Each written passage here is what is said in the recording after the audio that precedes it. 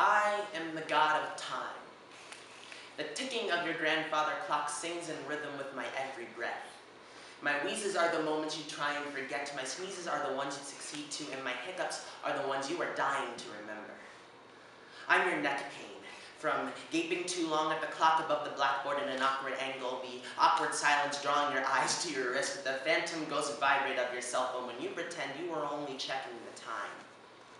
I am nose rings and haircuts, hand-me-downs, training bras, shaving cream, a shoe size, one size too small, the gross and overwhelming power of body spray the first time you really need some. I am the god of time. Do not take me for granted.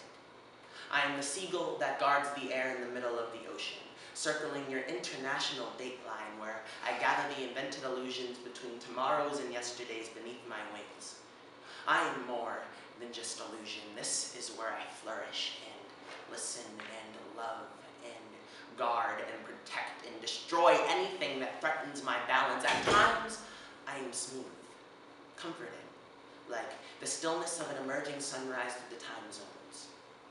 I am the, the silence after the shatter, or the eternal hum that lulls the ocean.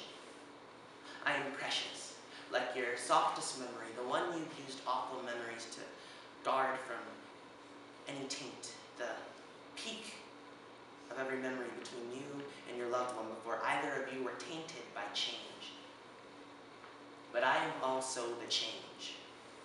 My nudges are gentle but firm. You want to be impatient with me? Fine, let's see how fast I can keep up. With a strike of lightning, spread wildfires like a bad rash, burning by the hour, I can be the shatter, or the pop, or the clang, the bang, the instantaneous millisecond before a bullet in a gun part ways toward a heart. Sometimes when you forget who's in charge, I snap.